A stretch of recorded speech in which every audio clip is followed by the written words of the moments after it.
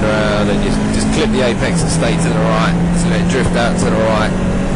Uh, it depends how big your balls are, but you're going to be waiting for that uh, flagpole on the right hand side before you brake.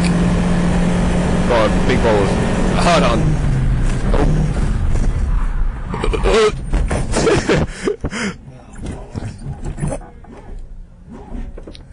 Hold on. Take the fan off. That's it. Worry.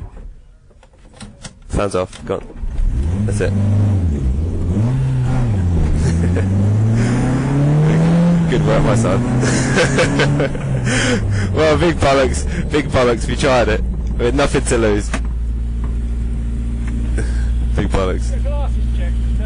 Sorry? No, no, no. We saw the flagpole and thought, right, we're not going to brake till that and see how big our bollocks are. and uh, obviously, we should have braked about 20 metres before it.